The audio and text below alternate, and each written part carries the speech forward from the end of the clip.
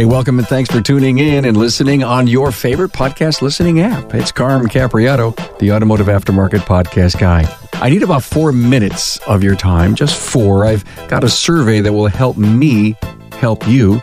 We are five years in, consistently presenting podcasts each week, 800 plus episodes, 450 hours of content. How are we doing? I want to know. Please go to remarkableresults.biz slash survey or find a link on my homepage right to the survey. Give me a few minutes of your time or just reach out to me. Write me, Carm at remarkableresults.biz. Hey, welcome to 20 questions in about 30 minutes with shop owner Patrick McHugh from Bimmer Rescue. This is raw, relevant, and personal, and I know you'll grab onto a few great thoughts and ideas from Patrick that will help guide you in your journey to remarkable results. Hey, none of this is possible without Napa's support. You know, before we jump into 20 questions in 30 minutes with Patrick McHugh, let me thank Napa Pro Image for their continued support. Napa Expo has been officially rescheduled, but you knew that. It'll be February 1st through the 4th, 2021. I hope you've written that down. Las Vegas will be painted blue and gold as Team Napa puts on the fabulous event that was planned prior to the COVID 19 pandemic. Napa wants to thank everyone for understanding the event postponement and sends well wishes to you and your families. Rest assured, Team Napa is as energized and invested as ever in Napa Expo, and we look forward to hosting you in February 2021. Hey, Patrick McHugh's got some great advice to share in this 20 questions in 30 minutes episode. And they will literally tell us everything we need to know about them so that we can line up what we recommend exactly with what their goals are and what they value that one thing there, listening to what a client tells you they want, has changed our entire customer service atmosphere. Hey, more with Patrick McHugh in just one minute. Now, don't forget to watch the Aftermarket's most fun video show aftermarketweekly.com. You can watch it live on Facebook, LinkedIn, and YouTube every Tuesday at 12 noon Eastern Time. Even watch it right there on the website. Now go to aftermarketweekly.com where you can, as I said, watch it live and view all the archived episodes. I'm your host. And don't forget, you get a shop tour each week. Hey, don't forget to let me know how you like this new format. I've already heard from a bunch of listeners that this is a cool way to learn. Talk to me at carm at remarkableresults.biz. Thanks for sharing your thoughts. Find the key talking points, Patrick's bio, and links to his previous episodes at remarkableresults.biz slash E563. Hey, a warm welcome to Patrick McHugh. Hello, Patrick. Hey, Carm. Thanks for having me on. You've been a, a great uh, contributor to the to the podcast and coming on here for 20 questions in 30 minutes. How much fun can this be, huh? Love the format. Quickly before we start, uh, the COVID experience that you had, and you know, not seeing the kids for 45 days. Can you just share with a few minutes of your appreciation for family?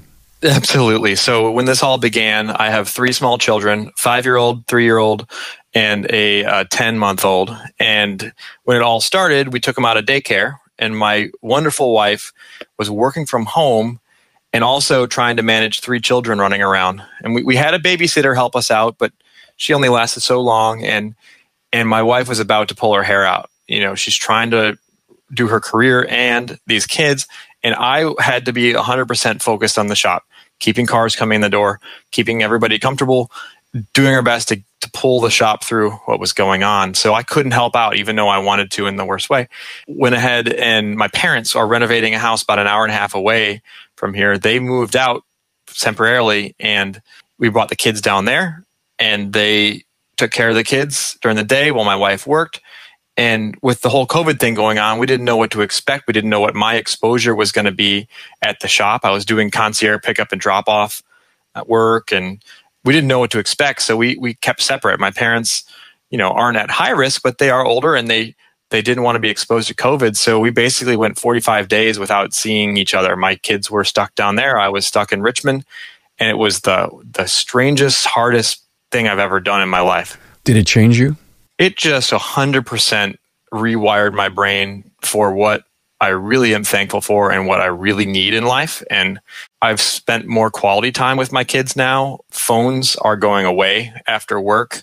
We are paying more attention to our kids. We are spending more time with them because sometimes when you miss something when something's gone for a little while, you realize how important it really is to you. So I'd say it's a blessing. There's so many unbelievable stories out there, and thank you for sharing that. Let's let's jump into our 20 questions. My question number one here is, what do you do for fun? So, as you probably know, I am the founder of Race Bar, one of the strangest racing teams ever known. We have a Lemons race car with a beer tap on the back. We throw huge parties and we we do endurance racing, 24 hour races. I love that. I love to sail. I love boats. I love anything that goes, cars, motorcycles, anything that has a motor or, or moves around. I love. Patrick, can anyone find Race Bar on YouTube? Yeah, absolutely. Just type in Race Bar on YouTube or Race Bar on Facebook, and you'll go into a whole new world. So let me say this. I spent some time, I think it could have been a whole 20 or 40 minutes watching an incredibly well done video. I mean, almost like movie documentary thing. And uh, so well done, so much fun. And you guys, I mean, you get out there. I don't know what you say, but you guys were serious. We're serious about having fun. Uh, racing is priority number two or three. We're out there to have fun, put smiles on people's faces, act like a bunch of teenagers, and just have a great time. Good for you. Uh, Race Bar, you got to check it out. Uh, question two Get any great advice in your lifetime that you still follow today? Sure. Somebody told me, I don't even know who it was when we were having kids, when I was going to the, you know, going to the hospital in a few days to have our first kid. They said, well, I said, well, what, what's the, what's the advice? What do I need to do? What's the most important thing? And he just said, be there. He just said, be around. He let me interpret that however I wanted, but that meant be present to me. Get off your phone, get off Facebook, look at your kids, play with your kids, interact with your kids, get in their brain and, and always always be in their head. So that that's what I gathered. Amazing stuff. How did you decide to become a shop owner, man? The county decided for me because I was kind of shade tree mechanicking in the backyard and I had eight cars in the driveway and they sent me a nasty gram in the mail and said, You need to get these cars out of here. And my wife sat me down at the table and said, You need to go back to be a pilot and go fly jets, or you need to go start a shop. And I chose the right and correct path, I think. Why not a pilot? Well, just that first life lesson, right? I was gone four or five days a week. It's kind of hard to have a, a really secure family life when you're gone that much. Patrick, do you still have the fire in your belly that you had when you first started? Absolutely. I started this business with not a lot of knowledge, not a lot of tools, not a lot of help, but a lot of passion, a lot of excitement. And people were drawn to that. And I think they still are. And I'm still excited. Every single day I get out of bed and I drive to work with excitement. Now, yeah, of course, there's gray hairs on my head from some things, but I love what I do. I love the shop. I love everything about it. So even if you got up and you weren't 100%, you still push through it, right? Absolutely. Drink a cup of coffee, kick some butt. Hey, if you could send a message to yourself uh, 10 years ago, what would you tell your younger you? I would probably reach through the screen and just strangle him because he was such a he was a bit of an arrogant dude who thought he knew a lot more than he did and I would tell him to listen to his peers, listen to his seniors and don't fall in the in the pits that other people have fallen in. Use their wisdom. So I, that's what I would tell. Watch some of these Carm casts. That's what I would have told them. Hey, you got to check out this Carm guy. Was that cocky confidence? Do you think you had? Sure, I think it's the cocky confidence that every 22 or 23 year old has. It just kind of it's par for the course in, many ways. Uh, you may have already given a little bit of the answer to this next question. How do you manage work life harmony? I've always been one to turn the switch off at about five o'clock, five thirty latest. Um, those kids are waiting for me back home, or they're at school, and I need to pick them up. And I have seen so many shop owners that just live their entire lives at their shop and they stay till 7 or 8 p.m. I made a dedication to myself and my family a long time ago that that wasn't going to be me. Do I work hard when I'm here? Yes. But at 5 o'clock, whatever fires are burning, we can put them out in the morning. Could you make more money if you stuck around a little later? I would think so, but I think in the big term, the big the big picture, no, because I would probably burn myself out. I can't make any money if I burn myself out. So my personal sanity is part of our success plan. I have to be sane and healthy. You are just so perfectly laying up into the reason that I podcast, and that is to share, you know, the wisdom that you uh, ha- have because of the struggles that you either uh, experience yourself or the ones that you don't want to have. So thank you for that wonderful advice. Uh, question seven Your biggest learning moment? COVID was a big one, man. We made so many huge changes to not just our operations, but our budgeting and to how we interacted with our clients, how we talked to them. Uh, our first question during COVID, when somebody picked up the phone and we got them on the phone, was to say, How's your family? How are you doing? The car always came second. And guess what? That's here to stay. Uh, we work on cars, but we work for people. And to work for people, we need to know about their family. We need to know what they value. We need to know what they do with their car. We need to know so much. And um, that has just enriched our relationship model that we have at this shop. So COVID was a huge turning point for us.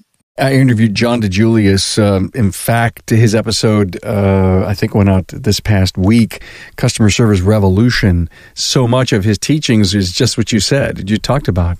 I read that Ford thing on your. Uh, oh, you website, did, yeah. F O R D. I, I, love it. I got to. Isn't that, that great? Yeah, family, occupation, recreation, and dreams. Well, thanks for bringing that up. Thank you for listening. Is community important to you?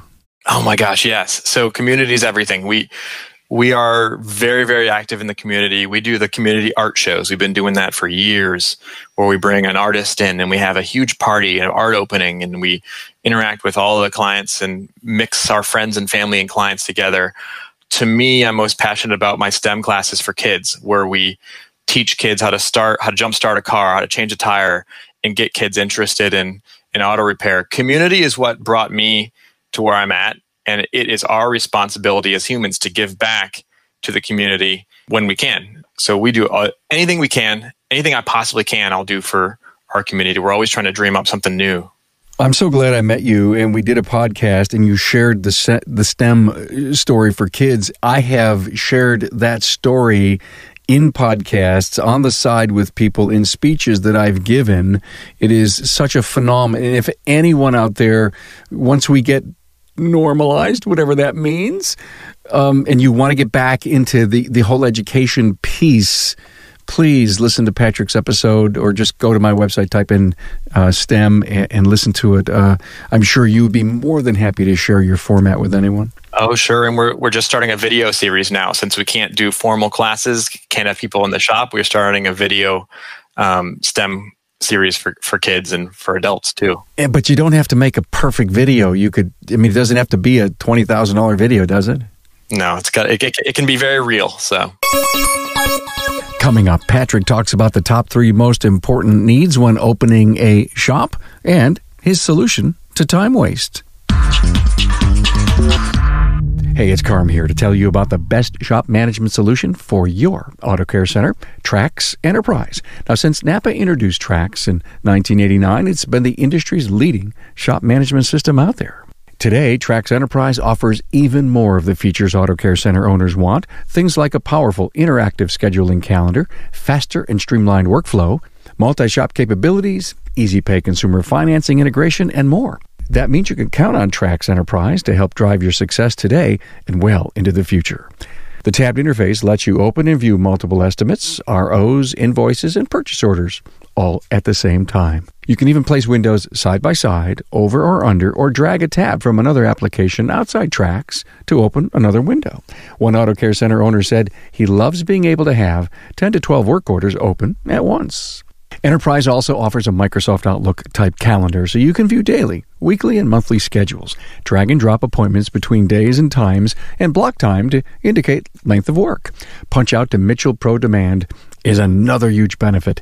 It provides embedded labor, part, maintenance, and fluid capacities that can be transferred to estimates and repair orders within TRACS. TRACS Enterprise also streamlines parts ordering. Just one click and it's done. The mobile capture app sold another auto care owner on TRACS Enterprise. He said there's no reason to write VINs by hand anymore. You can decode the VIN from a mobile device and send all the information directly to TRACS. There are reporting features too. For example, with just a couple of clicks, you can find out how many repair orders you've written in a month. Talk to your Napa Auto Parts store and find out more about what TRACS Enterprise can do for you, plus the hundreds of other great things the Auto Care program has to offer. Ever made a major pivot in the business? And if yes, what was it? The COVID, I already answered that in many ways. Um, that was one pivot. Another one was hiring top techs. We we hired some of the best techs in Richmond, and it, it really changed our business for the better and put us a tier above everybody else. That happened probably four or five years ago, and we really upped our game and brought some ex- incredible technicians into our shop, and uh, many that are still with us today. And it's really changed our A game. But I'd say COVID is my biggest pivot in the shop so far. COVID has been a life changer in every regard for every walk of life, for every business, for every family, for every situation. Oh, so here we are recording this. We'll tell everyone that AAPEX was moved to be a virtual event this particular November. Uh, major, major, unbelievable move in the industry. So that's again, that's a, that's a pivot for AAPEX. Share a car count idea. Is it a, is car count important to you? car count's everything. Car count is the fuel that you're putting in the tank for the shop that you're driving down the road, right? So we uh, went to went to concierge. The minute this COVID stuff became real, we shifted all of our marketing. We we pulled down marketing that we were putting a lot of resources in and juiced up all of our social media, news presence, being on the news to concierge. We'll come to you. We'll pick up your car. You'll never see us. You'll never have to shake hands with us. We'll return everything back sanitized, cleaned, ready to go. All consultation will be done over the phone or with Zoom meetings, which has been very, very cool. That basically pulled us through uh, the beginning of COVID, where car count just vanished. The phone wasn't ringing, so we went through our entire database and called probably 4,000 clients on the telephone to do welfare checks on them. Are you okay? Is your family safe? Um, those two things literally pulled us through COVID and will continue to pull us in the future. We're not going to stop doing that kind of stuff because it really worked. Concierge Service, the invisible service repair company. Yeah, we call it Bimmer Rescue to go. We have a little logo Bimmer. that we made. I love it. Patrick, what drives you? My kids. Uh, I'm always been an internally driven person. I always have to have to go faster, further, and go around the next corner and see what's next. But my kids, in many ways, have. My daughter's five, and I I have to prove, I have to show her that if I want to do something, I can do it. If I want to achieve a goal, I need to be, I need to show up. I need to work hard. I need to stick to it. I need to deal with failures, to get through it. I need her to see me doing that so that she can go do that in her own life. You know, your kids are watching you, and I have to show her that I can achieve whatever goal I want to, and that it takes a lot of work and a lot of time and a lot of frustration to get there. But when you do get there, the reward is great. Are you ever satisfied? I'm satisfied with many things right now. I'm satisfied with with with my family and with my my team and my my life right now. But of course, I want more. We want to go multi shop. We want to have another shop where we can further help our community. Um, I think my art shows and a lot of my STEM stuff would would echo farther in a general repair shop. So we are actively um, trying to acquire a, another shop right now. So, you know, will will I ever stop? I don't know. There's probably a certain threshold where I'll let my foot off the gas a little bit, but but not much. So, no doubt that's a trend. I've been talking to so many um, people on the phone, and, and and some new interviews that are that are coming up about growth and adding stores. If I asked a good friend of yours or a peer, what's the secret to your success? What would they say? I think community would come up. I think just my my personality. I, I am magnetic. I I am drawn to people, but they're also drawn to me. We do the right thing in our shop, even if it doesn't always feel good for us. We are always there to help, and we, we love to help people, not necessarily just cars. Plus, my mustache would probably come into play. That's looking nice and upright there. nice job on that. Um, any secrets to time management or time suck? Yeah, so I struggle with this a lot because I'm a very like I get distracted easily. I have a little black book. So at the beginning of the year, I open the first page and I write my goals. Right now, it is to acquire three shops within the next two years, to teach my daughter um, to think objectively, you know, to start to question things in the world, and to be a better husband, to be a, a good husband to my wife. And so those are my three goals. And every single day, I put five bullet points one, two, three, four, five. And every single thing that I do every day needs to reflect one of those three goals. I can only do five things. If I try to do 20 things, I'll get nothing done, but I can definitely do five things. So I'll write out, you know, speak with my coach about uh, a business acquisition that I'm considering. Go to a counseling session with my wife. Take my daughter to the park and, and look at bugs or trees or whatever we need to look at. But I, I always do my five things. And if I check them all off, I circle the, a win on the top of the page. And if I win enough of those days, I've won the entire week. And if I win a entire week, I've won a month and then a year and then I've gotten to my goals. So that's my way of breaking down a big goal into attainable little tasks that I need to do each day. It's called the Power List, and it's a um, Andy Frisella type thing. You can you can look into him, but that has changed my life and kept me on task, kept me kicking butt during the day, not just kind of looking for things to do and putting out fires and getting involved in stuff I don't need to get involved with. Um, so yeah, it's been that's been very helpful. Good stuff. Uh, I think I know the answer to this next question. What are you doing to put the customer first in your business? We listen. This is not a new thing for us, but when a client calls us and they've never been here, we listen to what they're saying. We ask some very important questions and then we shut up and listen. The most important question is, great. How long have you had this car? Well, I've had it for four years. Okay, how many miles does it have on it now? Uh, roughly. Okay, it has 120K on it now. Okay, tell me what you do. Tell me what you do with the car. What's your life like? You know, what's your occupation? Where do you drive to?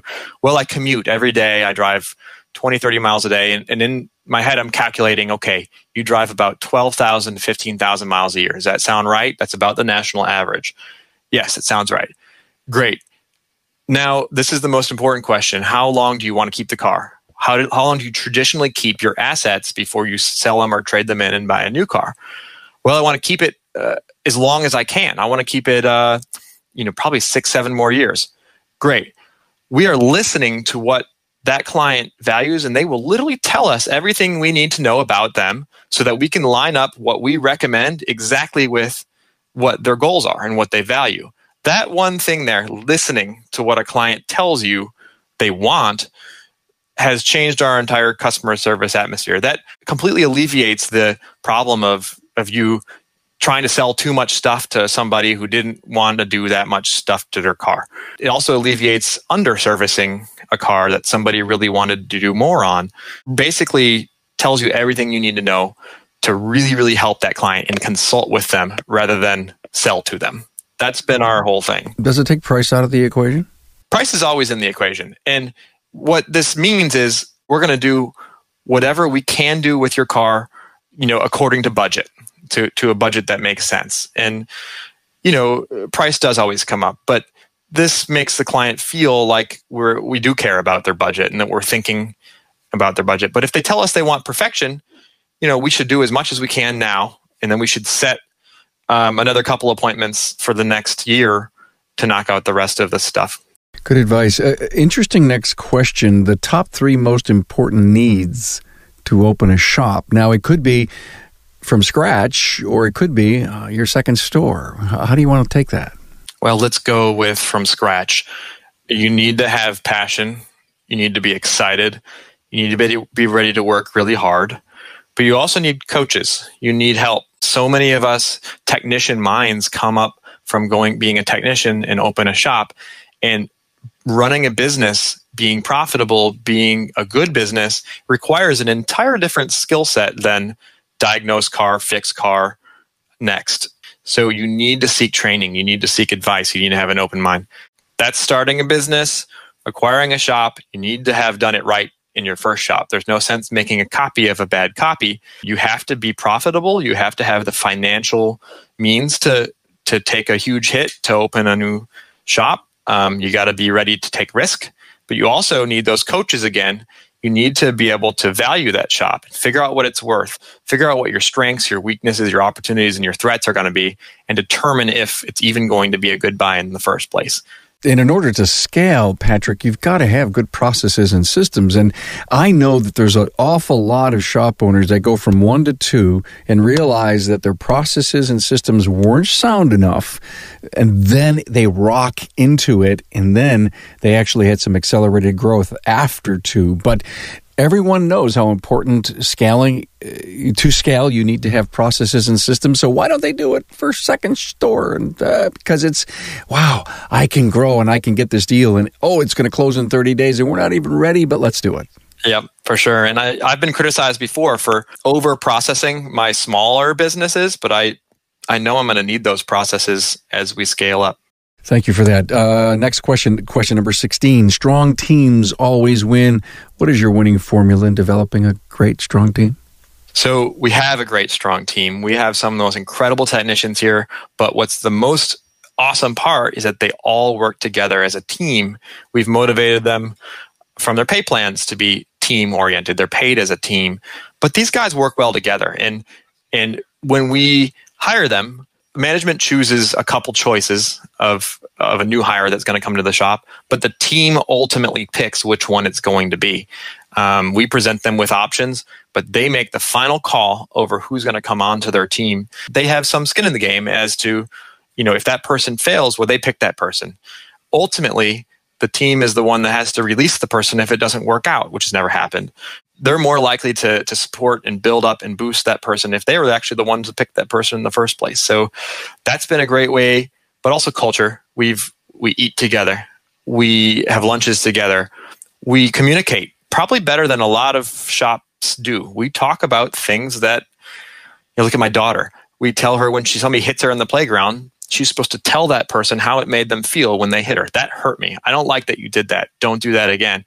We do that in our shop somebody does something somebody doesn't like, we talk about it. We say, hey, when you did that, it made me feel like you didn't respect my value as a technician or you didn't respect my opinion. And that makes me feel this big. Don't do that anymore. Just listen to me. When I say you need to do this, do it. Trust me. You know, we we have deep discussions in our shop and every time we get through a little hurdle, it makes us a little bit stronger and a little bit closer of a team. Fascinating. And I know we could actually do a whole podcast on what you just said, but we're staying true to our 20 and 30. Number 17, the secret to a good job interview. In my opinion, the questions and listening, just like just like our customer service thing, right? I have some absolutely awesome questions that we ask. One of my favorite, which will probably reveal all of the struggles you're about to have with this person you're about to hire. And it is it goes like this. Carm, if I were to ask your friends and family or other coworkers what your biggest weakness is, what you struggle with the most, what would they say? They'll sit there for a while, but they'll tell you pretty much exactly what you're going to probably need to coach and train on the most. Our newest hire, he says, I, I move too fast. I, I need to slow down. And that is exactly what we've been working on the most. Uh, so the questions you ask, very well designed, pointed questions that your coaches hopefully have taught you and then then shutting up and listening. You should talk about one third of the time in an interview, and the the potential employee should talk the rest of the time. If I said to you, one of my weaknesses are squirrel, squirrel, nut, nut, nut, you know, kind of like you, Patrick, but you still loved my energy and all the other things that I could bring, you'd hire me and you'd and the whole team would know uh, my god uh, don't have the tool guy come in with a flashy new tool because he's gone and there must be a way to help discipline that person. Absolutely. But yeah, we in our team we all know what each other's weaknesses are and we we work around them and we support each other. How are you finding good technicians? Question 18. We found our last one was a referral from another technician. He knew his friend worked at the, the his his old work and he said, "Hey, you got to come over here to Bimmer Rescue." So it was literally a uh, uh, in-house referral. Um, but we've also had luck with um, the tool guys, telling the tool guys that we're hiring and explaining, getting to know the tool guy and telling, getting him to understand what our culture is about, and inviting him to lunch so he knows what we're about. And he can't help but talk about that. He can't so. recommend the team if uh, he, he, you know, if he doesn't love the business. Absolutely, exactly. Would your organization crumble if you stepped aside? No, I've actually in some ways been pushed aside because I tend to micromanage and put out fires and get too involved. So uh, no, I think I could leave my organization for a month and I they would try their best not to call me. Maybe they would once or twice, but they would be just fine without me if I had to go. What job would be minimized? I mean, are you doing the social media? Are you doing the marketing? The marketing would be the problem. I'm doing most of the marketing in the shop, so um, I would have to put things in place to to pull us through for a month um, if I was uh, completely gone. By the way, I just want to say before our last question, this has been a phenom interview, Patrick. You are on fire, and thank you so much for this. But here is the last question: If you could pick up a new skill in an instant, what would it be? I got to tear your question up a little bit because I think that the path and the journey and the trip is worth more than the actual skill and than the actual end result. I would love to learn to play the piano, but I think it would be sad if I instantly knew how to do it. I think the learning process is almost more fun than the actual destination. Does that make sense? Yes, because when I was a kid, I had piano lessons. Mm-hmm. And so if you ask me that question, I would say the same thing. But I would also say, why was I so stubborn and so strong to convince my mom to let me quit learning how to play the piano? And that was a life lesson. I want to know how to play the piano. In fact, at my age, people said, go take it up again. Yeah, I think I, I think I know what you need to do now, Carm. Yeah. Thank you for bringing up the piano because you brought back an interesting memory that upsets me every time I think about why did I give up? Why was I so convincing? I, w- I was a hell of a salesman back then to, to convince my mom to say no, and, and I thought I was actually doing pretty good. Perhaps that was the skill that you learned is how to as sales. Perhaps you learned how to make your mother see it your way. And maybe that was the maybe that was the whole point. Maybe it wasn't about the piano lessons or the, the end result at all. yeah, man, so I just doing, turned you all around. I'm doing what I'm doing today because of that. It's so interesting. Patrick McHugh, Bimmer Rescue. Thank you for 20 in 30, my friend. I appreciate that. This is really cool. Thank you, Carm. This is this is awesome. Thanks for being on board to listen and learn from the premier automotive aftermarket podcast. Until next time.